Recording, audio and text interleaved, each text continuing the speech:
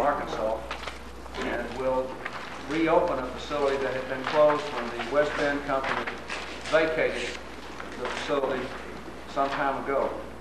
One of the important initiatives of our administration has been to try to reopen plants which have been closed, try to restore to economic health and viability communities that have been affected by plant closings.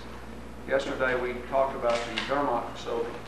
Today, I think we are announcing a company which has significant potential for growth in Arkansas and for becoming a partner with us in our attempts to improve the economy of our state. This is a particularly happy announcement for me to have some role in making because I received a, a note from David Harrington when I was at the governor's conference in Nashville that uh, we had been very hopeful that we might be able to uh, win the competition, which was quite intense for this facility, but that they were about to give up hope and asked if I would call Mr. Holmgren, so I did call him. And uh, I was frankly uh, pretty discouraged after I got off the phone with him because he's pretty honest and pretty blunt. And I said, well, look, don't cross us off the list. Give us one more chance. We can do whatever everybody else can do a little bit better. And uh, it has the story has a good ending because they're here today to announce their commitment to Sheridan and their involvement with our state.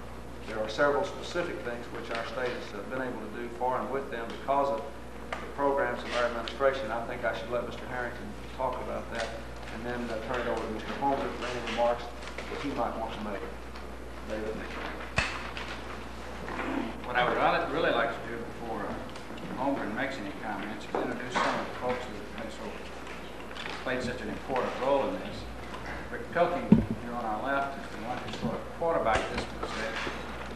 And it's, they do not get the recognition that they sometimes deserve for the, for the work that they do. They're, they're escorts, they're researchers, they're salesmen, and they, they spend many, many hours, weekends, nights, to accomplish that. And I think he's done an excellent job, and the company that's come to us has praised him greatly in, in the effort. And I think it's, we're proud as our councils to have a staff like this, and people like Rick in our group.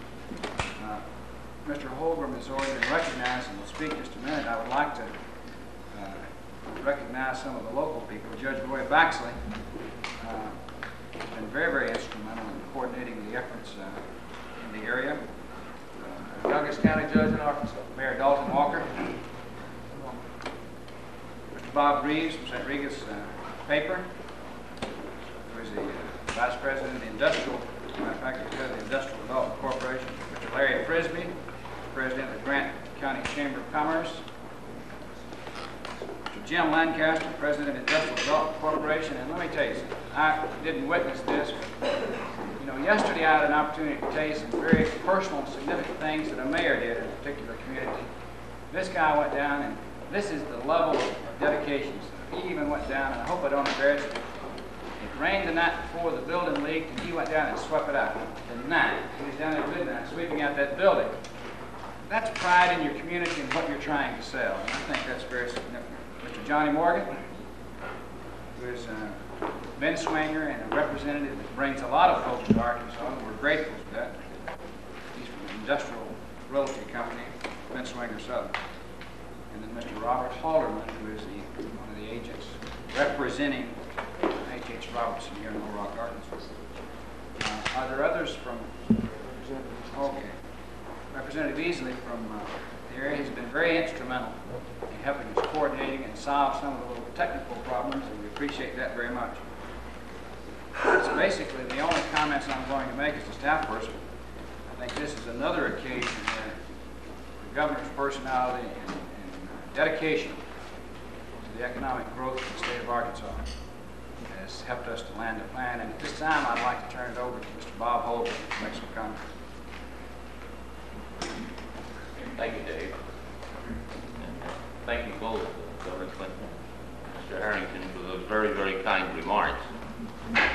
The H.H. Robertson Company is a worldwide uh, construction and uh, manufacturing uh, company of metal and glass wall products and cellular steel floors in high-rise buildings. I'd like to talk more about the division that I have in Connersville, Indiana, which is the one, uh, that is the division that is locating a manufacturing facility here in Arkansas. And uh, we're very, very happy uh, to be here. And I can see now the entire team that they've assembled, and I can see why they were successful. Uh, The governor uh, talked about his telephone call to me, and maybe I could add a little bit more to that story, because we had our end of it, which he could not see. And that is, uh, uh, less than four months ago, I had to make the business decision to relocate some of our manufacturing operations, install some new, uh, highly uh, efficient equipment that we were importing from overseas. And we were going to put it into an Indiana plant. And then we had to make the decision to find another location. So uh, from not being an expert, I traveled with a team for the Robertson Company from North Carolina, South Carolina, Mississippi, Tennessee. We had people going into all of the uh, Sunbelt states. And uh, this uh, made us experts. And of course, we got to Arkansas. And I want to say that most states have very, very competent groups. And I, I think this team back here knows that the other states are very, very competitive in looking for new industry. However, uh, it came down to a financial package and uh, size of building and things of that nature that we had, I had made a decision, we were going into South Carolina. And today, I was actually in my office drafting a- an offer for a piece of property in South Carolina. And Governor, Governor Clinton called me. And we had a very short conversation, and said I was blunt, I, I thought I was just being direct and saying, saying the facts. And uh, uh, he responded and said, we'll see if we can do something about it. And uh, I had not met the governor before, so uh, I didn't really know it was going to happen.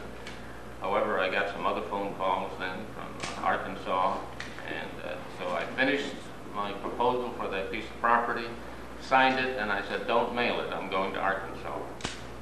Guess that's when Mr. Harrington and his team took over, and uh, Rick Pil- Pilkington, and uh, the rest of the people that you just met. And it was, uh, uh, it was, uh, it was that final showdown and action that brought us into Arkansas, and we're very, very happy to be here.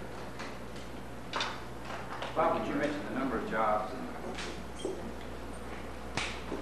On the uh, startup of this facility, you'll be an installing equipment uh, the balance of this year and the last quarter, and we are uh, planning to start production in the first quarter of next year.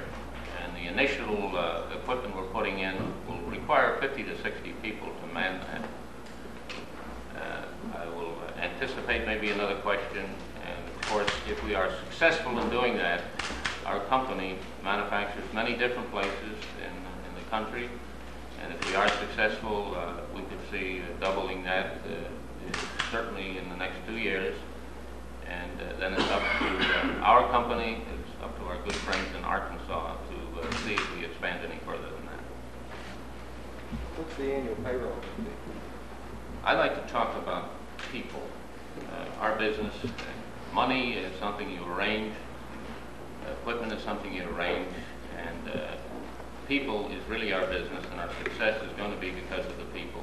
And I think that kind of sizes our operation by talking about the people. Most of this be labor skills. Uh, Yes, sheet metal, roll forming, uh, considerable uh, skill required.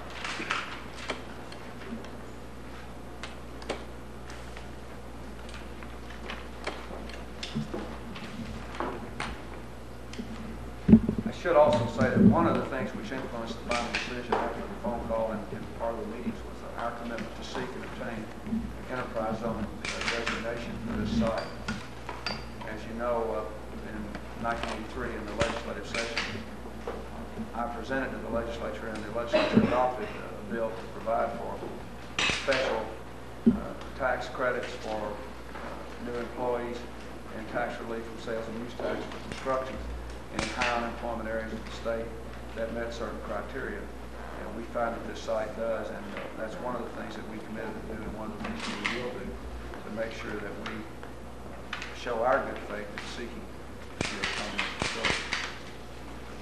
And it just proves, I think, the point that I made at the time, which is that something like this can make a difference in Arkansas's competition with other states in terms of whether we, we get the business. Mr. Homer was, he was very blunt when he said, look, you know, that there, I can just go this other place for less money because I don't need this much space right now.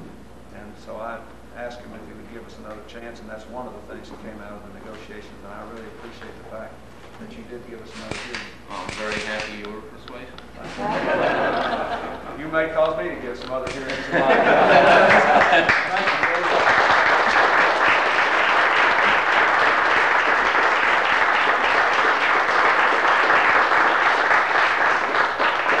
I want to give you one thing here. This is an Arkansas traveler certificate. It's a symbol of our goodwill for distinguished out-of-state visitors. Now you're really a citizen, so technically you're not eligible. But since you haven't moved down here yet, I'm going to give you one. If you promise never to say anything bad about Arkansas again.